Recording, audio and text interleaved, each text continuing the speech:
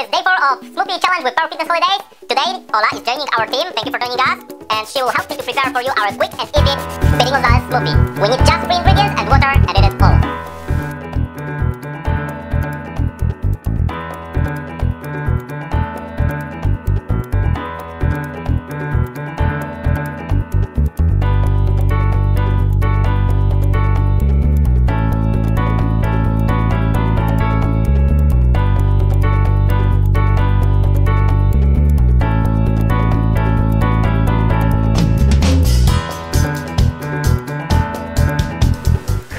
Okay, we've got ready our quick and easy Speedy Gonzales. I'm here with my favorite tester, Ola.